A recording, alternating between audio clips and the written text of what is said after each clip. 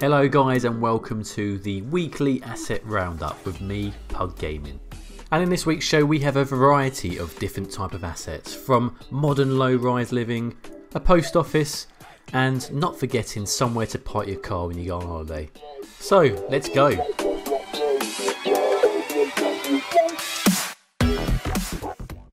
So let's kick off this week's roundup with some amazing UK thatched houses by Rik4000. Now if you're a Brit like myself or you enjoy the European and British themes, you would certainly have come across Rik4000 before. He does some amazing work, all based around UK sort of buildings, so by all means go and check him out if you're looking for a suitable creator who does UK and European based assets. But anyway, back to these thatch houses, there's a number that he has released recently on the workshop, all in different variety of placement sizes, and you can see from these screenshots here, all in a different type of style of brick and sort of mortar. And the textures that Rik uses with these houses have always been top notch, even in his previous designs. And the way he's actually built these houses really allows you to let your creativity go wild with creating some amazing front and rear gardens.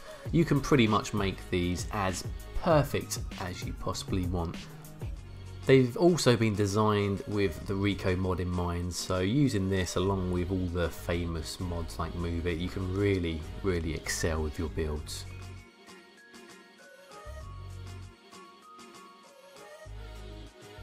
Next up we have Mic CrossHill with his boat ramp. And in all honesty there's not been a lot of stuff on the workshop based around this sort of a theme. There's obviously been the standard platforms etc but having a actual boat ramp really does add to making things a lot more realistic. And I've also included his recent um, trailer as well, which is a, a, great addition to making things look more realistic. And he has done a lot of boat houses, which again is very, very unique and a great idea for a new project.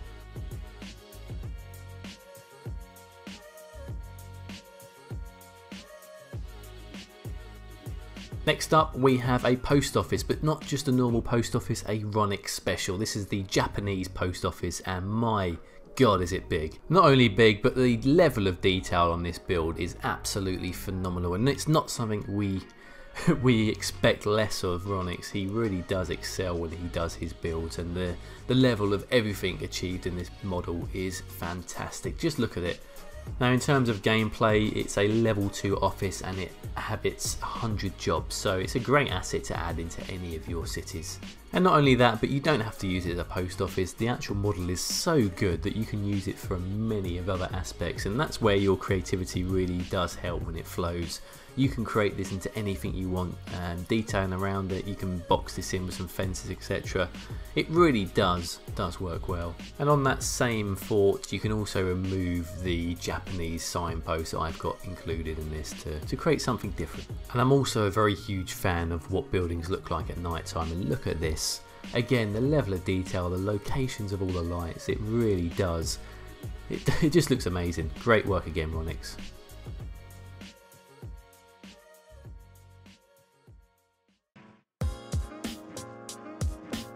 Next up we have the police station by Senfkorn.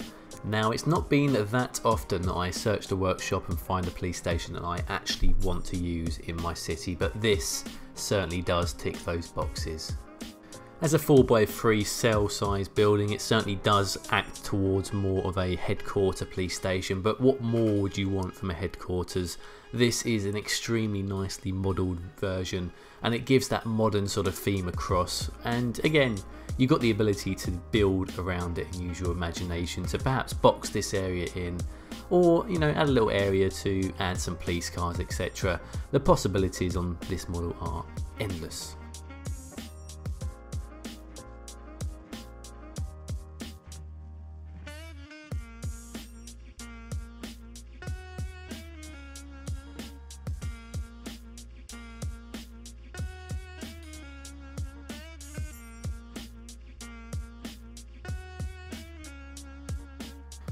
With the mass transit expansion, it was about time we had a decent tram spot model, and I think I found a cracking one from Titan.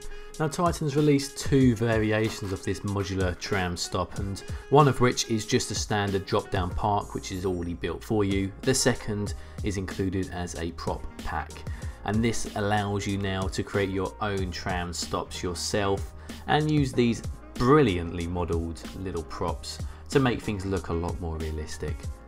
So what are you waiting for? Why don't you create your own today?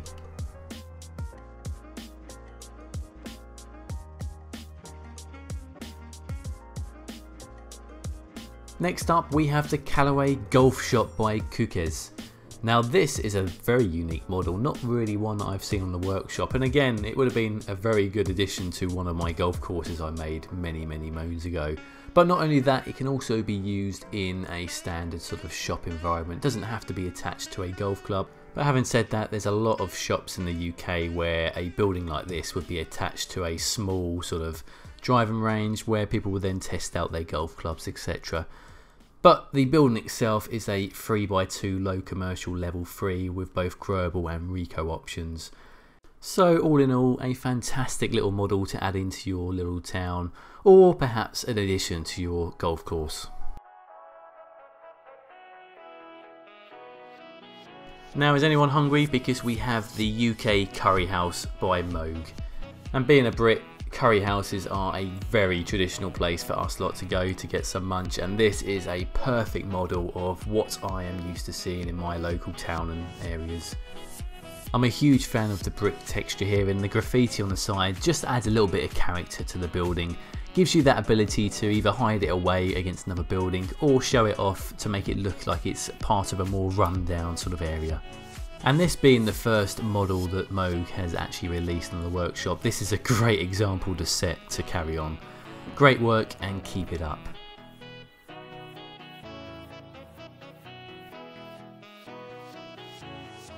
Up next we have the Bronx store by Exusa. Now this model really caught my eye and I think it's the characteristics of this design. And the good news is there will be a future collection release with some houses and stores, so by all means look out for that.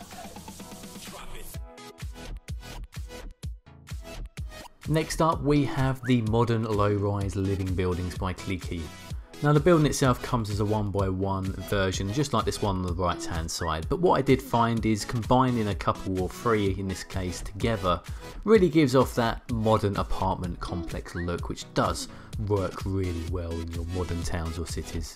As expected the detail levels are just as good as the previous models released in the workshop so if you're building your own modern town or city by all means consider the collection released by Kliekie.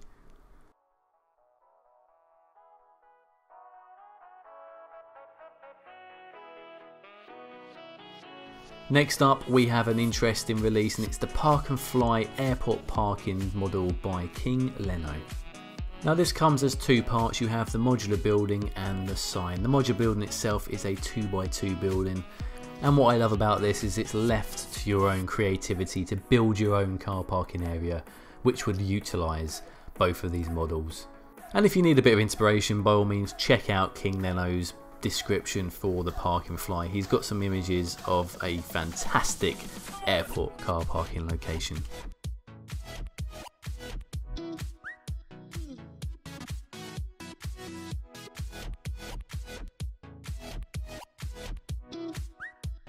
Now, talk about dedication, but this fantastic model by martinAusBerlin it took him six months to build and this is his first release on the workshop. And my word, what a introduction to himself as a City Skylines creator.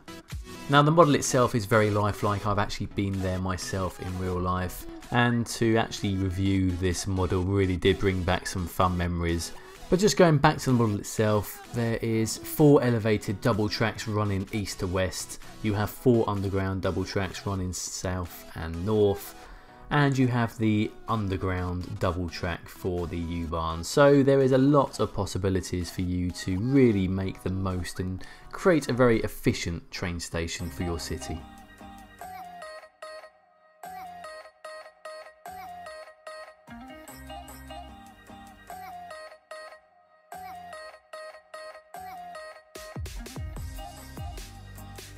And last but not least, he is back.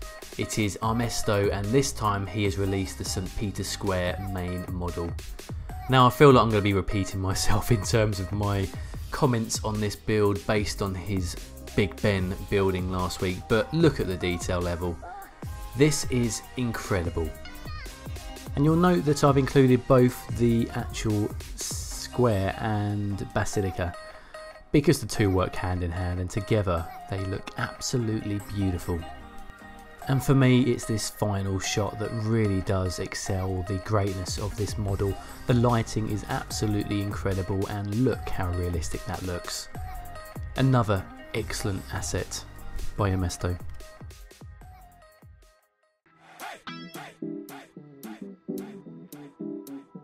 So guys, that brings us to the end of this week's asset roundup. As always, please leave your comments below, let the creators know your thoughts on their models and give inspiration for new ideas and what you would like to see next on the workshop. But as for me, thank you very much for watching. If you haven't already, please subscribe and like the video if you did so. Until next time, all the best.